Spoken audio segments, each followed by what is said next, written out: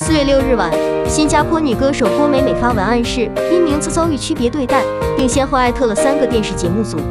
据悉，现年四十岁的郭美美来自新加坡，也是很多八零后和九零后的童年回忆。提到郭美美本人，多数网友可能并没什么印象，但她下面这首歌，你却一定听过。看见蟑螂，我不怕不怕啦，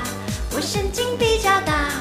不怕不怕不怕啦。二零一一年以来，受某个九零后同龄炫富女的持续作死行为影响，郭美美事业大跌的同时，亦经常会收到一些不明真相群众的指责和谩骂。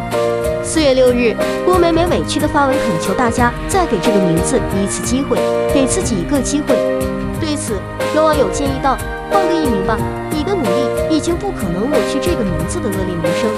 另一方面，也有了解前因后果的网友表示，应该给人家一个舞台。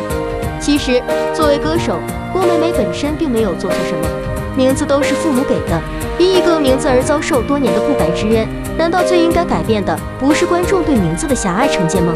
大家觉得呢？快来接听啦啦